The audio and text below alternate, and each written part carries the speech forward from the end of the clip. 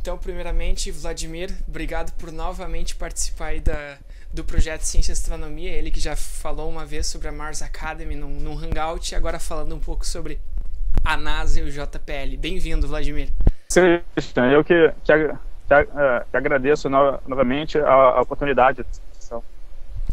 Perfeito. Então, Vladimir, uh, como primeira pergunta, quem é Vladimir Lira, para quem não conhece ainda? Bem, é, então, eu sou astrônomo, é, é, fiz a, a, a, graduação na UFRJ, no, no Rio, é, e, e, depois disso eu fiz é, do, é, doutorado no, no exterior, pós-docs no exterior também, e hoje em dia sou professor na, na, na, Universidade Estadual da Califórnia e pesquisador visitante aqui da, da NASA, no JPL, onde eu fiz um dos meus pós-docs. Perfeito. E para quem não sabe, o Vladimir agora ele está exatamente na, na JPL, né, que faz parte da NASA. O que, que seria a JPL? Se tu pudesse explicar para gente o que, que é essa, essa, se é uma parte da NASA, o que, que se faz, o que, que se trabalha nessa, nessa parte que está associada à NASA. É. O, o, o, o, JPL é o, o laboratório de propulsão a jato da NASA.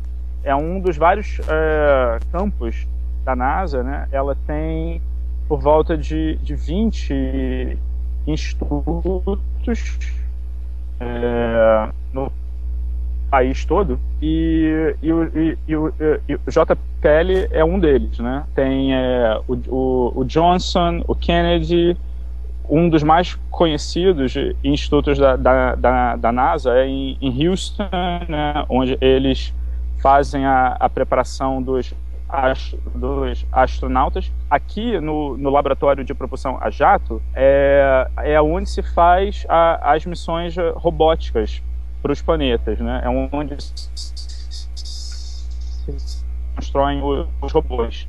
É, é, um campus bem grande, tem em torno de, de 5 mil pessoas. É, a astronomia em si é uma parte relativamente pequena né, do, do JP PL, mas ainda assim emprega bastante gente. O carro-chefe realmente são as missões robóticas, mas tem muito mais coisa que o JPL faz.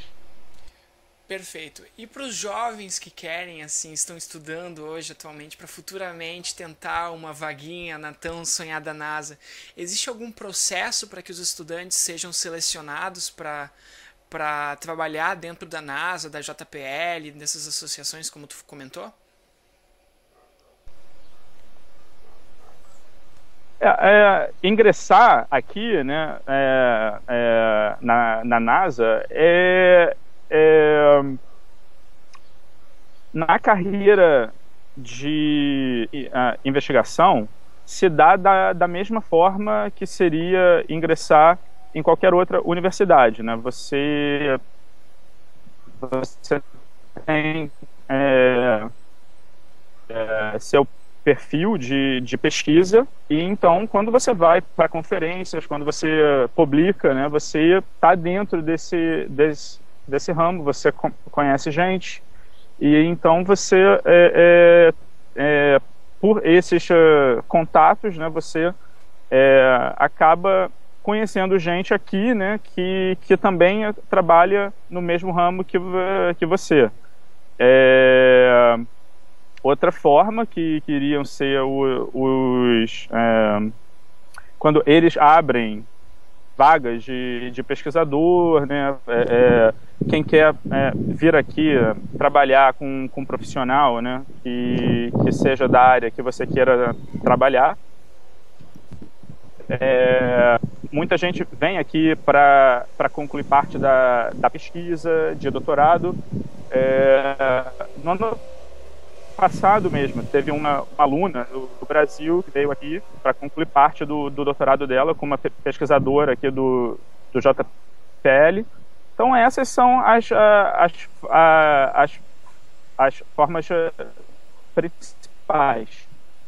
Aqui eles, eles têm também é, pesquisa de, de verão, mas isso normalmente é só para quem é cidadão americano. Então, como brasileiro, seria mais fácil mesmo vir né, como parte da, da pesquisa do doutorado, do, do mestrado, com contato com uma, um, um, pesquisador daqui. Ver né, na lista de pesquisadores quem é que, que, que trabalha no campo mais, é, mais próximo da, da, daquele que, que você uh, trabalha, manda um, um e-mail para esse pesquisador ou, ou essa pesquisadora e ver se ele ou ela tá, estão in, uh, interessados né, em, em, em te ter como estudante.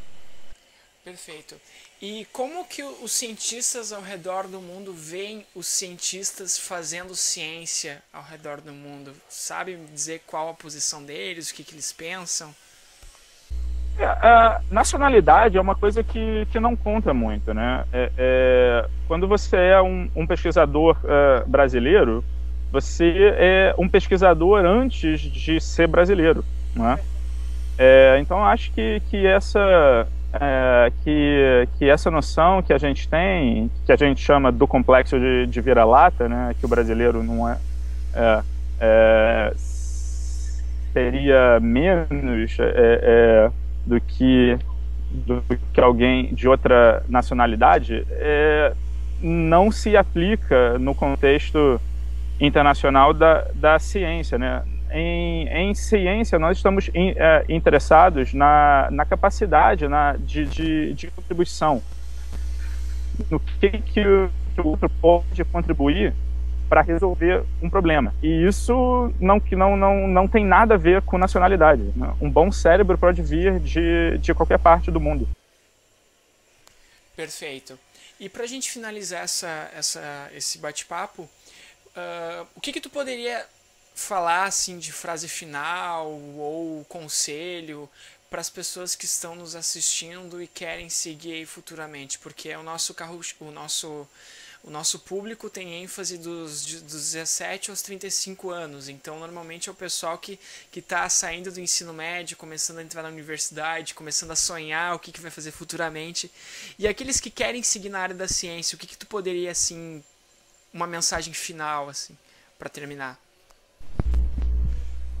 Eu diria que, é, que o principal é que você é, persiga seu sonho. Né? É, tem muita gente que segue o, o, pragmatismo. No Brasil tem, tem muito essa coisa da, da tríade de engenharia, medicina e, e, e, e direito, que são, são tradicionalmente a, as três que, que dão dinheiro, né? que, que os pais dizem, ah, é, é, entra numa dessas três que é, é o que dá, dá que dinheiro. garante na vida. Então, sim, mas é, tem, tem, tem, tem tanta coisa a mais, né? O, o mundo é, é tão maior do, do que a tríade. É, e quando você segue o, o seu sonho, é, você, você faz é, aquilo com,